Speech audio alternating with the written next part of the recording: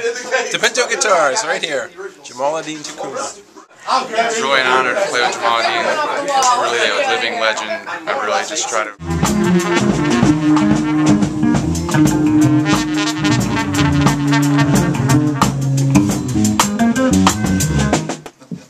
All right, I'd like to thank you all for coming out to the first uh, Dipinto Guitars Master Class.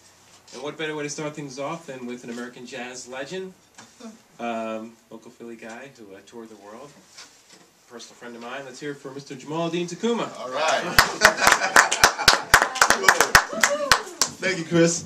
Now, let me give you a little bit of information about. I, I got to start. I always feel the need to start, you know, at beginnings because the beginnings are important. For two hours or longer, how to keep morphing into various things. Just keep, just keep it going. Just keep it going. Just keep it going.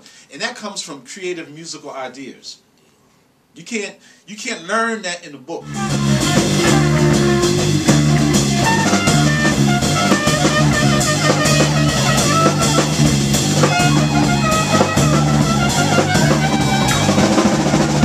All right. Woo, man! From the music artist, you know, like I said, if he's doing a deal, he knows the labels, he's doing his deal, he can get paid through that. He can also get paid when that music artist run into problems.